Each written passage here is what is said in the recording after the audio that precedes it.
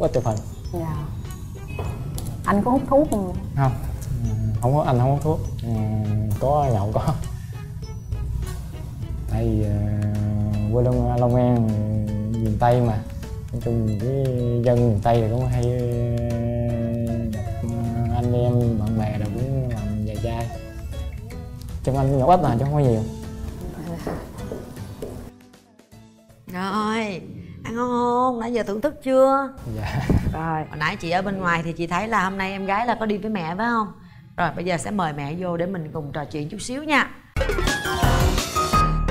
Rồi chào cô.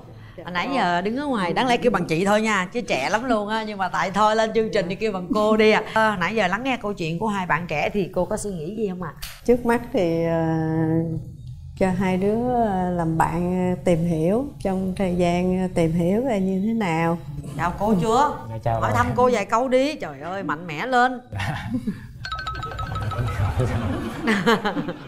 Trời ơi thanh niên ba chục tuổi mà còn rụt rè nhút nhát nữa. Cũng ngại quá. Lần, lần đầu tiên ghi hình với chị. Lần đầu tiên chứ không lẽ ai tham gia chương trình mấy lần? Bên đây. À, mời em trai giới thiệu trước về những thông tin cá nhân của mình. Em xin chào chị Cát Tường.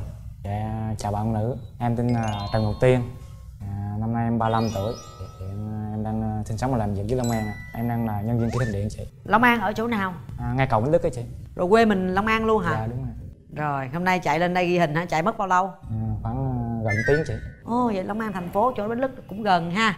Rồi còn em gái? Em chào chị Cát Tường và em chào bạn Nam em tên Hứa Thị Kim Yến. Hôm nay em 31 tuổi về ờ, công việc á, thì trước em làm nhân viên văn phòng nhưng mà hiện tại thì em ờ, đã nghỉ và em đang ở nhà phụ số việc của gia đình thôi. À. Dự định là qua năm sau thì em mới đi làm lại. Quê em An Giang hiện tại sinh sống và làm việc Hồ Chí Minh. Hồ Chí Minh anh- em đây cùng gia đình ý là gia đình em sinh sống ở đây lâu rồi chị. Nhà đông anh chị em không em? Có ba chị em gái em giữa của em thì lập gia đình rồi còn em út của em thì ờ, học ờ, lớp 11 gia đình hối dữ chưa dạ có. Năm nay là em bao nhiêu tuổi? Dạ em 31 tuổi chị. 31, bên đây mình 35 hả cơ? dạ. Những cái điểm mạnh, điểm yếu của em là gì Tiên? dạ điểm mạnh của em thì tính à, làm việc độc lập tốt. À, em cũng có thể làm việc nhà được. Có tật xấu gì không? xấu của em là cũng à, nóng tính lâu lâu cũng có nhậu nhậu với bạn bè. Lâu lâu gì, tôi nghĩ cái bộ tướng này chắc cũng nhậu dữ lắm à, nhậu hoài à, à hồi đó hai chị này bị bao tử ít nhậu. Trời ơi, bị bệnh bao tử luôn rồi hả? Rồi trị hết chưa? à, cũng hết là chị Mà sao cũng chưa mập không biết nữa chắc cái tạng người nó vậy Cái là cũng chưa có cái bàn tay người phụ nữ chăm sóc ha dạ Rồi, còn em, điểm mạnh, điểm yếu của mình là cái gì cưng? dạ điểm yếu của em là em ờ, em hay quên cũng phải mất tập trung á. rồi điểm mạnh của em thì ờ, em ờ, thì ít nói Ủa, điểm mạnh là ít nói à hả? Ờ, nói chung cũng biết nấu ăn một chút Rồi lúc rảnh rỗi thì thường em hay làm cái gì? thì em hay kiểu như dọn dẹp ờ, nhà cửa. Lâu lâu thì có đi xem phim với bạn bè. Ừm, tình trường thì sao? hiện tại em chưa có mối tình nào hết. Do gia đình bạn bè có giới thiệu cho em gặp gỡ nhưng mà do không phù hợp nên không hợp tính nhau á nên không có tới được. Khi mà gặp gỡ thì nó cũng trong thời gian ngắn là chị. Tháng là không có gặp nữa. Thì cũng có nhiều cái lý do lắm. Số bạn em gặp á thì cái thời điểm đó thì nhiều khi bạn thích bạn nữ ờ, tóc ờ, tóc dài nhưng mà thời điểm đó thì em tóc ngắn. Trời. Ờ, thỉnh thoảng còn hoặc là có người á thì dạng lúc đó em thời em nói là em cũng chưa biết thấu hiểu lắm. Nói em kiểu như chậm hiểu vài vấn đề. Dạ. Ta chê em luôn vậy đó hả? dạ không Hay là thì- nói qua trung gian? Ờ, thì biết sau này thôi. À, thì cũng cách đây cũng thời gian trước cũng lâu rồi em có quen một anh cũng lớn tuổi hơn em nhiều á khoảng ờ, gần 20 tuổi. Dạ rồi cũng không được không tại lúc đó em ờ, nói là em cũng ờ, suy nghĩ lúc đó em cũng, cũng chơi với bạn trẻ nhiều á rồi suy nghĩ nó cũng chưa chững chạc lắm nên thôi em ờ, em không có ý là nói chuyện người ta thấy cũng không phù hợp á nên thôi em cũng không gặp nữa Hay dài vậy là coi như tình trường mà nói là mối tình sâu đậm rồi là cũng chưa có dạ đúng rồi. Ừm, Còn em sao? Tình trường mình sao nè? Tình trường của em thì em cũng đã trải qua một mối tình rồi chị Ừ, bao lâu rồi? cũng cách đây cũng sáu mấy năm rồi chị Rồi sao chia tay? nói chung hồi xưa thì công việc thì em hồi đó em làm với Long An thì bạn ấy thì làm trên Sài Gòn cũng xa với lại một phần nữa cũng xuống nhà chơi mấy lần á Ừ. có vẻ như à, gia đình bạn gái không đồng ý Không đồng ý, ờ, lý do gì không đồng ý? em cũng không biết nữa sau này cũng nghe cũng bạn nói là chắc có thể lúc đó là công việc em chưa ổn định Rồi từ đó đến nay ờ, không có quen tay mai nữa hả? dạ cũng có nhưng mà là đơn phương không chị sao vậy tính em thì cũng ờ, sống hơi nội tâm á cũng ít nói nhiều khi. Bây giờ còn nhớ tới cái người bạn gái cũ đó hay sao? Không, chị cũng này cũng sáu cái năm cũng sao mà nhắc tới mà còn xúc động? Là cũng tiếc nuối đúng không? Hay là trời ơi thấy thương quá à. Một chàng trai cũng rất là tình cảm sâu sắc. Bây giờ nhắc lại bạn ấy vẫn còn rất là xúc động. Rồi giờ em muốn tìm một mẫu người bạn trai như thế nào? Thì ngoại ờ, về ngoại hình á thì cao mét sáu trở lên cũng dễ nhìn thôi rồi ok mắt mũi như thế nào tướng tá ra làm sao? Thì cũng bình thường thôi chị. Người miền Nam hoặc là sinh sống hoặc làm việc ở thành phố Hồ Chí Minh. Rồi giờ anh ấy Long An cách thành phố Hồ Chí Minh tiếng đi xe. À, công việc á thì ờ, công việc thì có kinh tế vẫn xíu để sau này thí dụ như có tiến tới gia đình á thì mình lo trực cho gia đình sau này. Ừ còn gì nữa không?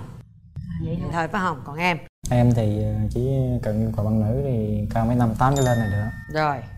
Da trắng xíu. Trời ơi quả trắng luôn. Áo em trắng quá nhìn không ra luôn á chứ. Em tính tình nói chuyện nhẹ nhàng xíu là được. Em chỉ yêu cầu vậy thôi. Yêu cầu vậy thôi ha. Dạ. rồi cho chị coi cái hình của em coi. Trời ơi trời hình này hồi đi học hả trời? Đi học rồi bây giờ sao mà ta nhận ra? Nè tấm này được nè lựa đi anh lựa đi một anh. Trắng. À có trắng. Em cao mét mấy cưng dạ mét năm lăm. Lựa đi. Em cao mét mấy? Lớp bảy chị. Mét bảy. Đâu ai? Vậy một, trong hai người này. Người nào á. sao biết một trong hai người đó? Tại vì chiều cao á. À. Da có đen không chị vừa phải không đen không trắng. Ốm không chị? Ốm ốm gầy gầy. Thì chắc người này người này quá. Chắc chưa chắc có giữ yên nó đi. Có chưa có chưa? Áo trắng quá. Là ai? Áo trắng. Chị áo trắng hả? Lý do tại sao chọn áo trắng? Em chỉ đoán vậy thôi. Đoán vậy thôi phải không? Rồi.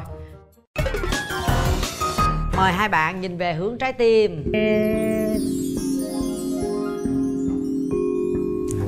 À, trời ơi nheo mày rồi.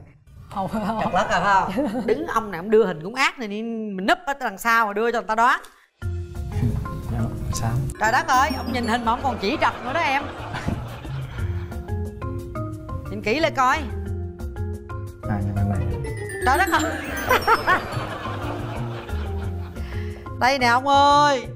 Hỏi thử coi cổ phải không hay là tôi chỉ trật? Phải em đó không?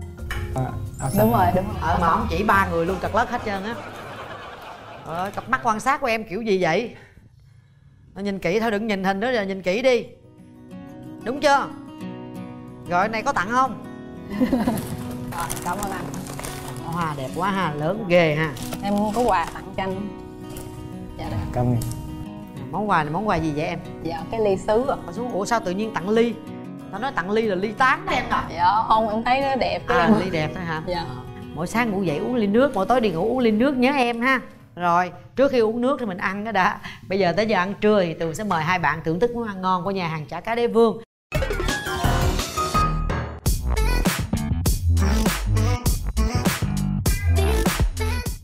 À, các tường mời hai bạn thưởng thức món ăn rất là ngon của nhà hàng chả cá đế vương. Đây là món lẩu đầu cá lăng. Rồi mình ga lăng ha đầu cá lăng mình ăn mình phải ga lăng.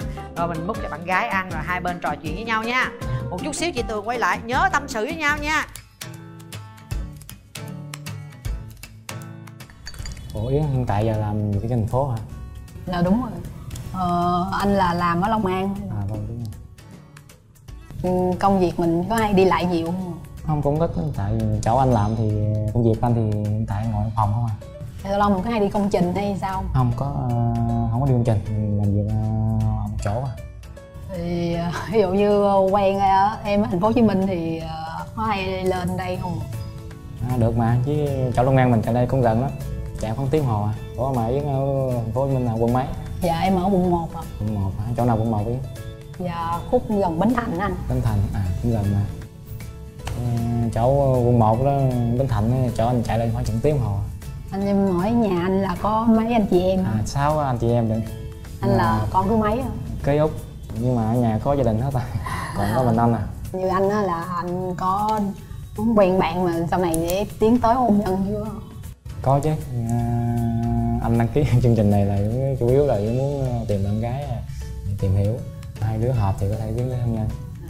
Ý mình làm công việc có lâu chưa anh à, công việc anh hả? À, anh làm nó cũng hơn 10 năm rồi. Mà ý là nhà em sống ở trên tây từ nhỏ sống với ba mẹ em ở đây. À, gia đình ở quận một luôn. Thì uh, anh đó ở, ở dưới quê á là có họ hàng bên ngoại bên nội em sống thì lâu lâu cũng có về dưới chơi thôi. Nãy mở trái tim cho yến thấy anh sao? Thấy giống như người thật ra thì nãy của em không? Thì nãy em đoán chật chật á. Anh cũng nãy nhìn hình cũng đoán em không đúng. Đâu thấy, thấy hình như em đoán chật. Tại đã thấy cái hình như khác với uh, tình hình chụp cũng lâu rồi à, anh thì hình đó cũng thật cũng mấy năm rồi. Rồi sau này cũng ít có cũng có đi chơi với bạn bè mình cũng ít chụp hình lắm. Tại vì chụp hình nó cũng không được ăn ảnh lắm. Cũng cũng ít chụp hình dạ. Anh có hút thuốc không? Không.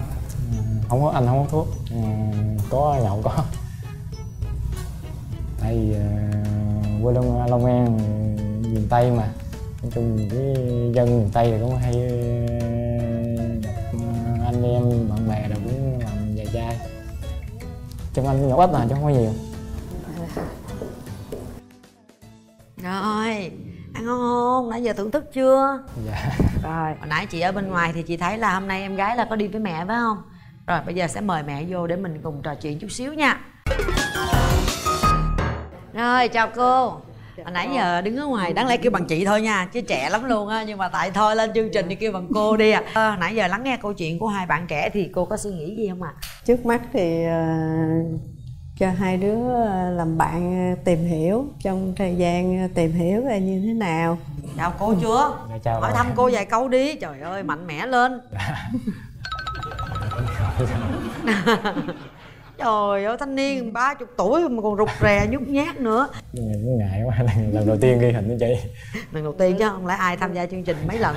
Bên đây con cô nó cũng nhát lắm. Dạ. tại từ tại từ nhỏ đi học rồi xong ờ, cái đi làm ít có ờ, chơi quen với bạn trai này kia. Dạ. giờ mới ờ, coi chương trình cô NC Cát Tường là hâm mộ cô lắm bữa nay gặp cô thành dạ cô- dạ. dạ cảm ơn cảm ơn cô. Nhưng mà cô có mong muốn là mình tìm một cái chàng rể tương lai là như thế nào không? Cô có cái yêu cầu gì không? Mình thì cũng ờ, người miền tây mình cũng đơn giản lắm. Mong muốn là con có một đứa bạn trai là ờ, yêu thương con mình. Tại vì mình cũng đâu có con trai đâu. Dạ. Mình có ba đứa con gái mình rất là quý ghẻ rồi cái sơ bộ hôm nay nhìn thấy chàng anh chàng này thì cô có nhận xét gì không? Cô thấy ờ, con nên ờ, về mập lên tí. Đúng rồi ăn uống cho mập lên tí ốm quá. Còn con thì giảm cân xíu giống như gì cô tường vậy giảm cân xíu thì ờ, con coi nãy giờ con trao đổi với bạn ờ, thấy bạn như thế nào? Có phù hợp với ờ, theo mong muốn của con không? Thì con cho bạn có cơ hội tìm hiểu. Rồi cảm ơn dạ. cô. Dạ cảm ơn cô, rồi cảm ơn cô nha. À bây giờ thì chị Tường cho hai bạn có thể là nó tự nhiên hơn, thoải mái hơn một chút xíu ha. Đây là những cái lá thăm của chương trình, có những cái yêu cầu trong này. À, Mỗi bạn bóc một lá và đọc lớn lên để thực hiện yêu cầu trong đó nha hỏi bạn nữ ha chị. Em đọc lên coi. Hãy nói kinh nghiệm hôn của bản thân theo bạn khi yêu thời điểm hôn thích hợp là khi nào. Rồi, em trả lời đi. Em đâu có kinh nghiệm hôn. Hỏi em bé chưa có tình trường. Cái câu sau mình vẫn có thể trả lời được, đọc hỏi lớn lên cho em em nghe đi cưng à, theo bạn thì khi yêu thời điểm à, hôn thích hợp là khi nào mà Ờ, thích hợp thì lúc nào nó tới thì nó tới lúc nào nó tới thì nó tới nào bạn trai phải chủ động chứ không lẽ giờ sao em ha? Nếu mà bạn trai chủ động mà mình cảm thấy nó tới nó thích á thì mình để yên còn không được thì mình đẩy ra đúng không em? Hãy nói kinh nghiệm hôn của bản thân rồi em kinh nghiệm hôn bản thân em sao? Người ta chưa có hôn mà mình có rồi mình nói kinh nghiệm thử coi. Thì cũng mua kề mơi thôi chứ không rồi có kinh nghiệm có có lần nào bị đẩy ra bị, bị ăn tát gì chưa? Nếu quen bạn nữ thì em cũng lâu lâu mới dám hôn chứ không dám hôn hoài. À vậy hả? Là Vậy kinh đó. nghiệm vậy đó hả? Dạ. Đẹp trai không bằng trai mặt cứ mặt dày hoài thế nào cũng được hôn. Đó còn kinh nghiệm của bạn nữ thì mình muốn mình muốn thích hôn thì mình đưa đưa đưa đưa vô còn mình không muốn thích hôn thì thôi mình né ra.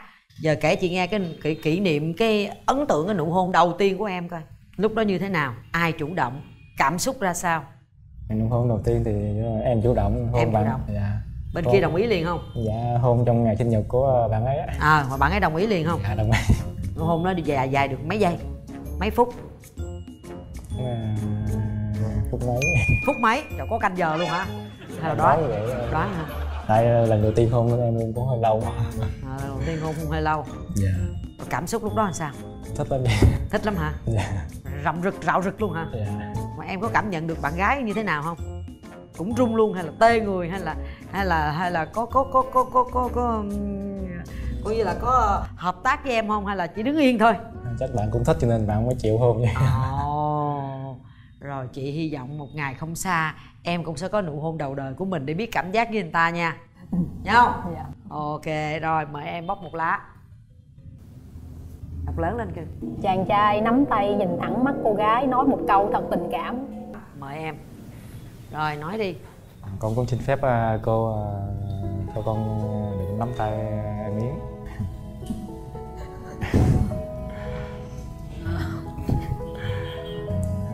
em biết nói gì? Nói chung thì à, cũng à, hôm nay mình à, anh với em gặp nhau ở đây cũng có duyên. Cũng hy vọng là em cho anh cơ hội được tìm hiểu. Rồi, được rồi, về chỗ Quan trọng không phải là nói cái gì đâu Quan trọng là cái đoạn nắm tay đó. Giống như ngày xưa mình hôn á Quen cả tháng trời mới được cái hôn. À, Rồi hôn phải lựa cái đúng cái, cái ngày đặc biệt mới hôn. Thì bây giờ nắm tay là để làm gì? Để xem cái cái cảm xúc trong người mình nó như thế nào. Có nhiều người nhìn thì có vẻ thích nhau nhưng mà tới khi mà người ta có cái sự va chạm người ta lại cảm thấy cái điện nó nó bị chỏi. Cái đó là thuộc gọi về là cái cảm xúc cho nên chương trình hay có những cái cái cái cái vui như thế này, nhưng mà thật ra là cũng giúp cho các bạn có thể kiểm tra lại được cái cảm xúc của mình trước khi đưa ra cái quyết định. Thì thời gian dành cho chương trình dành cho hai bạn thì nó không phải là nhiều. Ai cũng như nhau, nó chỉ có 30 phút ngắn ngủi ngắn ngủi thôi. Mời hai bạn đặt tay vào nút bấm. Nhắm mắt lại nha sau 3 tiếng đếm của chị tường, đồng ý thì bấm mạnh. Còn nếu không đồng ý thì chúng ta có quyền lấy tay ra. Một, hai. Hết thời gian. Trời tôi thấy cái tay cô gái để hời hở có một món ngón mà tôi không biết cô bấm nổi hay không nữa. Ok cảm ơn hai bạn rất là nhiều. Đồng ý hẹn hò với nhau, nắm tay nhau đi hai bạn. Thời gian không có quan trọng mà quan trọng là cảm xúc và cái những cái gì mà mình dành cho nhau. Đây, món quà dành tặng cho em. Là bộ son Yurika đến từ Nhật Bản với chất son lì không chì mang nhiều màu sắc trẻ trung phù hợp với mọi cá tính sẽ giúp cho bạn tự tin nổi bật trong mọi ánh nhìn. Chúc cho hai em là có những ngày à, vui chơi, hẹn hò, tìm hiểu nhau thật là thú vị. Rồi biết đâu là chương trình sẽ nhận được tin vui của hai em ha? Dạ, cảm ơn Rồi cảm ơn hai em rất nhiều. Thưa quý vị, hôm nay bà mối Cát Tường thành công rồi quý vị nha. À, Họ cũng là một cặp đôi khá là ít nói Nhưng mà tuổi đời thì cũng đã đến tuổi cặp kê Đến tuổi để mà có thể tiến tới hôn nhân được rồi